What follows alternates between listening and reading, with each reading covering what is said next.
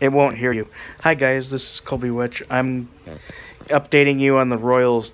It was five to three at the bottom of the ninth, and they they won against the Rangers. Next week, or tomorrow rather, we play the Minnesota Twins. So, and yeah, Nick's having trouble uploading to my channel, but we'll get it figured out. Don't worry. You'll see more videos. Um, no game Thursday, but Friday, Saturday, and Sunday. Alexa, who do the Royals play Saturday?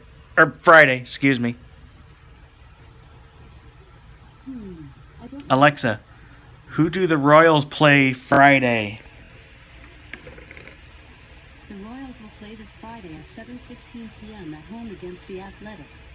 Who the who the heck is the ah, It's not Oakland then, so it's the Athletics, and I'm not sure where that's at. Ow! There goes my knee. anyway, that's my update. I will keep you guys posted. Thanks for watching.